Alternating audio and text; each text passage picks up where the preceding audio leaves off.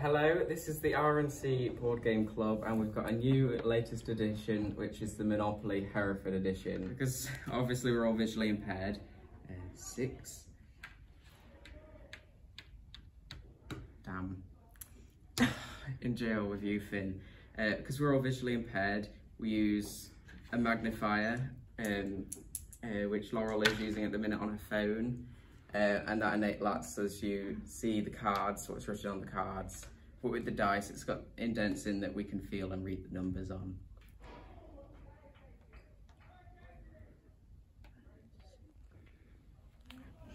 Zoomed in too much? Okay. On my phone, I was able to um, read that I landed on John Finch's computers. Would you like to purchase John Finch computers? Um, one yes, of the please. utilities.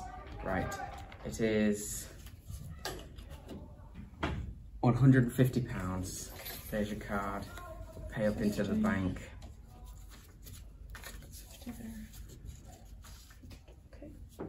Thank you.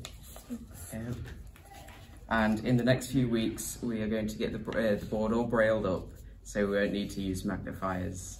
And all we'll have to do is feel the board and play Monopoly very, very easily and have fun.